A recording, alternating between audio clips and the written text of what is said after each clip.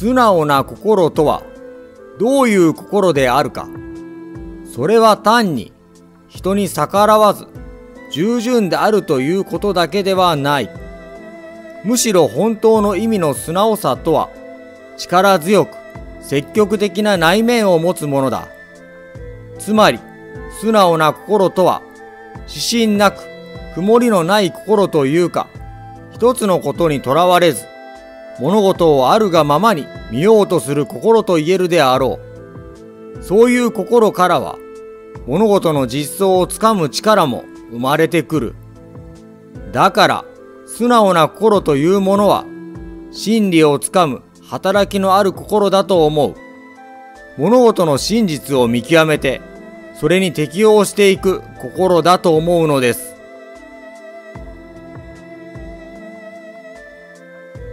いかに才能があっても、熱意の乏しい人は、絵に描いた餅に等しい。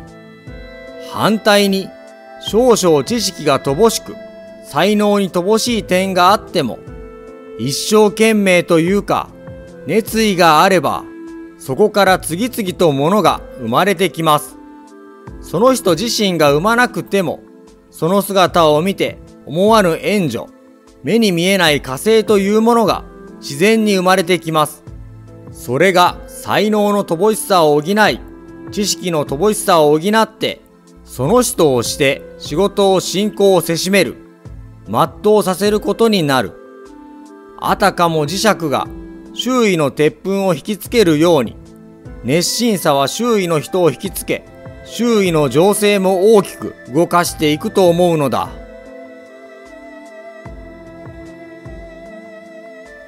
何でもいいから一つの目標を持つ。そういうものを日々持って、そして同時に1ヶ月先、あるいは1年の間は、こういうことをやってみるのだ、という一つの自己設計を持つことが大切だ。そして、それはうまくいく場合もあるし、うまくいかない場合もある。しかし、これは仕方がない。仕方がないけれども、そういうものを持っているということ、次に生んでいくということが、生きがいにつながっていくと私は思うのです。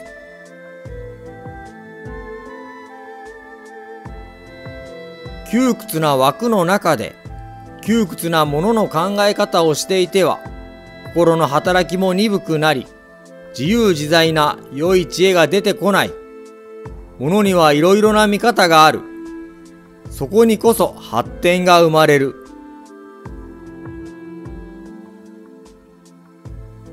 不景気の時には苦しくて困難であるが、不景気であるがゆえに初めて得られるものがある。不景気になったために知らなかったことを知ったということがある。それによって次の手が打てる。だから不景気の時には伸びているところも少なくない。そういう見方をするならば、不景気もまた結構ということになる。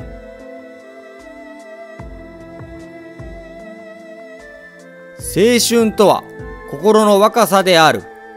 信念と希望にあふれ、勇気に満ちて、日に新たな活動を続ける限り、青春は永遠にその人のものである。当然ながら人は皆毎年年を取っていく。それはいわば自然の掟である。しかし、精神的には何歳になろうとも、青春時代と同じように、日々新たな気持ちを持ち続けることができるはずだ。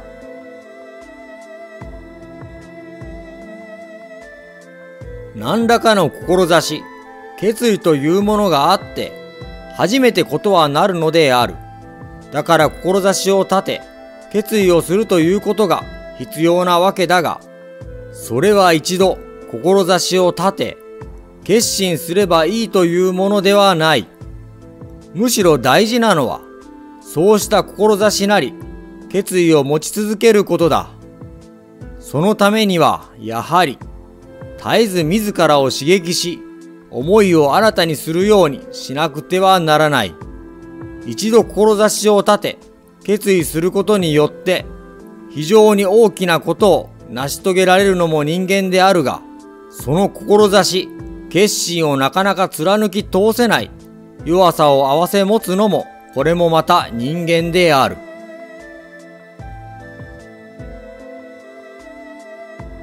ある程度考えた後は、勇気を持ってやる。そういうことが商売だけではなく、政治にも、その他あらゆる日常生活の分野においても、時に必要だ。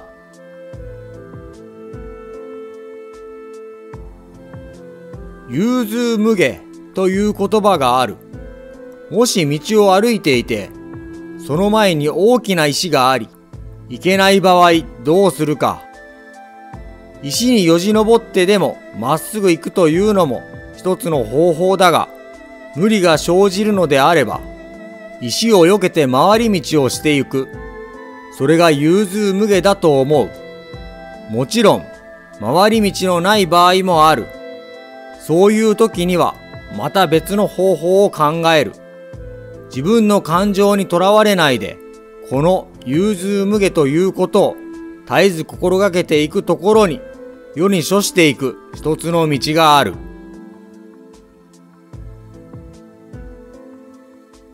一度にいくつもの問題に直面して、あれこれ思い悩むことがある。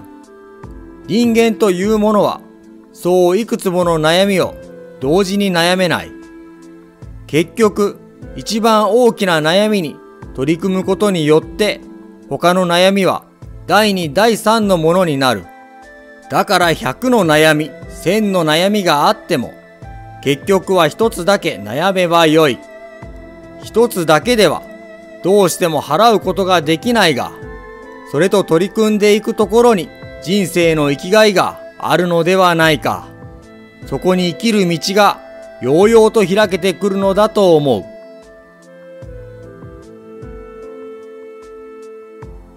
この世に100%の不幸というものはない。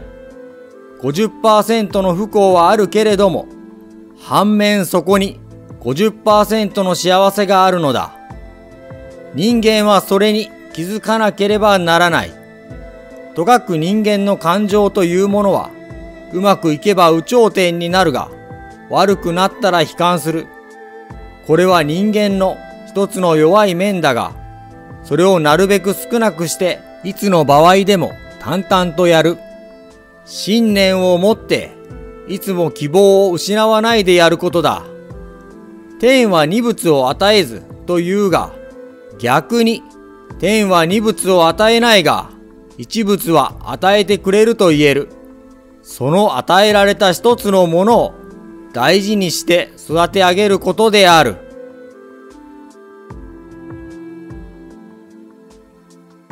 最後まで見てくださりありがとうございました。感想をコメント欄でお願いします。